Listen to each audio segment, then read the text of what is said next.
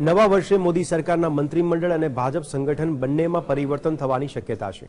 ભાજપ રાષ્ટ્રીય અધ્યક્ષ જેપી નડ્ડાનો અધ્યક્ષીય કાર્યકાળ પણ આ મહિનામાં સમાપ્ત થઈ રહ્યો છે. પાર્ટીની રાષ્ટ્રીય કારોબારી બેઠક આ મહિને પૂરી થવાની છે.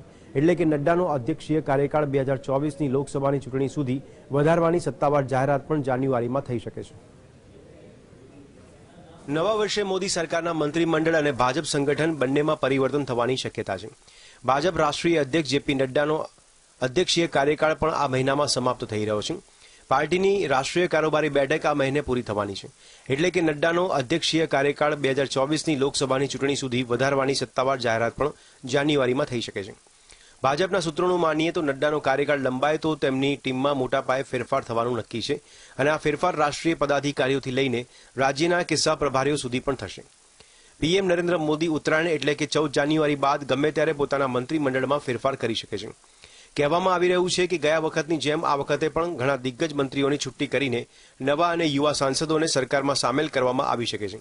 ચર્ચા છે કે જ્યાં ચૂંટણી થવાની છે તેવા રાજ્યો કર્ણાટક, કેરળ અને તમિલનાડુને મોદી મંત્રીમંડળમાં પ્રાથમિકતા મળી શકે છે. બ્યુરો